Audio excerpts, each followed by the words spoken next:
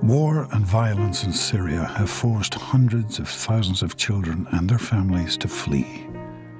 Many have lost everything homes, schools, livelihoods, families, and friends.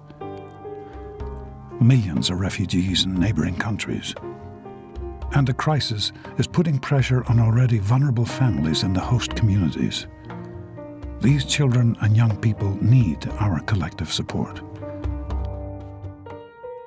Through UNICEF and the Madad Fund in response to the Syrian crisis, tens of thousands of children and young people in Jordan, Lebanon, and Turkey are getting access to education, learning, psychosocial counseling, protection from violence and harm, and hope. Together, we can and must ensure that the war does not give way to a lost generation.